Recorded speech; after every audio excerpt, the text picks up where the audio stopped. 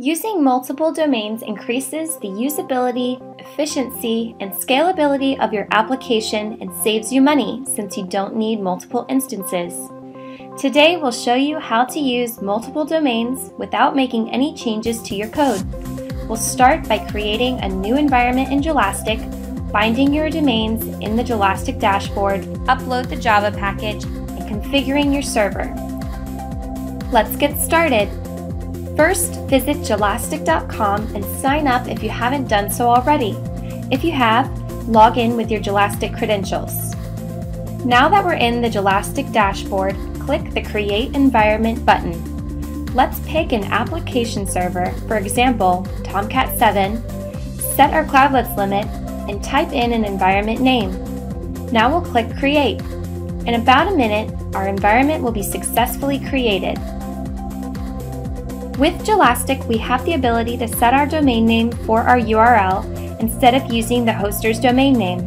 To do this, click the Settings button for our environment and bind our domains. In my case, the URLs are firstdomain.com and seconddomain.com.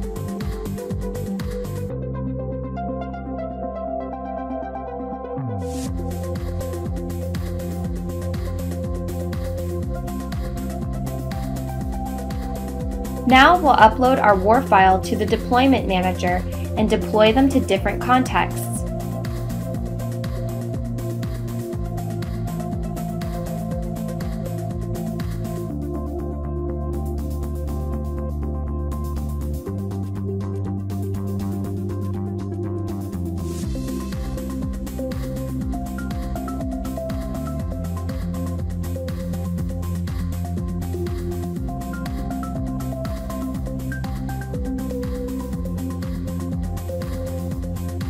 After it succeeds, click on the Configure button for Tomcat and navigate to the server.xml file in the server directory.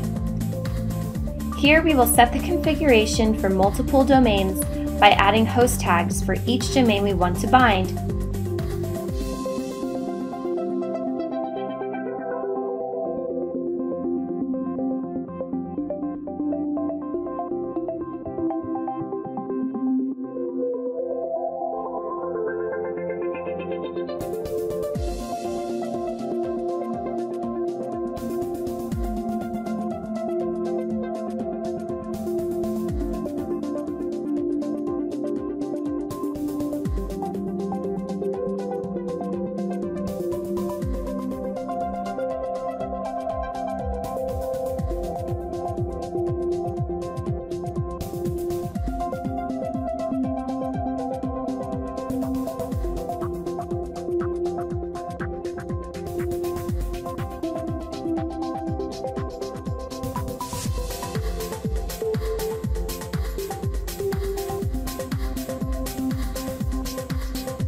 Don't forget to save your changes and restart Tomcat.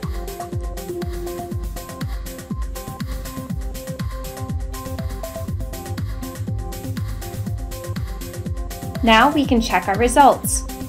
The application will be available through the specific domain names. It works!